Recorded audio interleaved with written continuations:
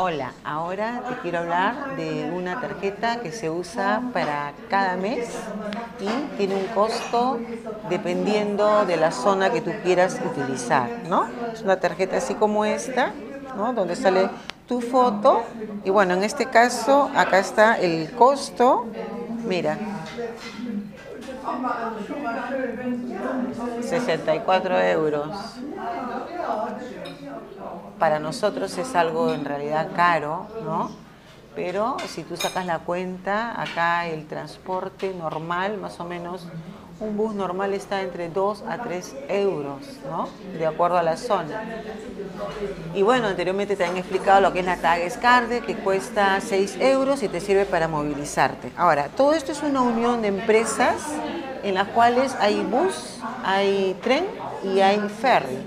Entonces, estas empresas, al unirse, eh, te dan esa facilidad de que tú puedas, con esta tarjeta, tomar eh, cualquiera de esos transportes, ¿no?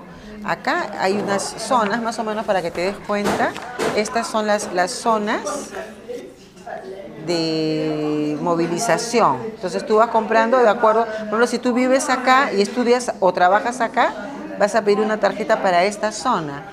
Hay una zona más pequeñita que este es uno, se puede decir esta es zona 2.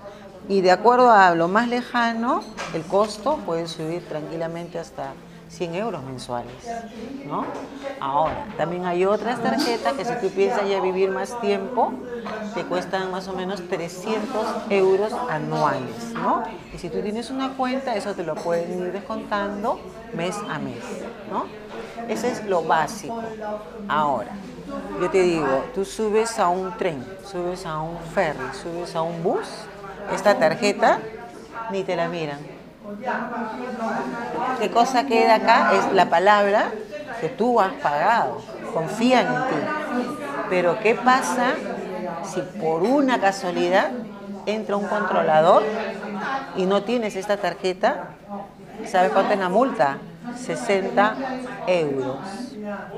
Así que acá tienes que caminar derechito. Acá no hay el vivo, no se dan cuenta, yo paso por atrás y nadie me dice nada. Eso no existe acá. Si tú vienes con esas ideas, la verdad, mejor quédate en tu país, porque de veras no vale.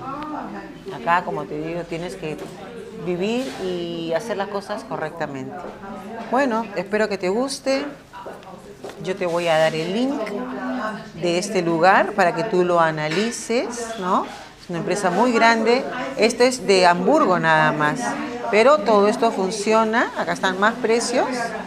Esto funciona en todo Alemania o toda Europa, ¿no?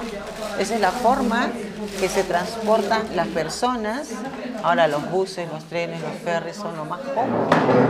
Tienes aire acondicionado, tienes calefacción, seguridad, respeto, nadie grita, nadie habla por teléfono, nadie pone música, o sea, todo es paz. ¿no? Espero que te haya servido, espero que pongas manito para arriba, que te suscribas, que lo compartas y te agradezco mucho tu atención. Fíjense.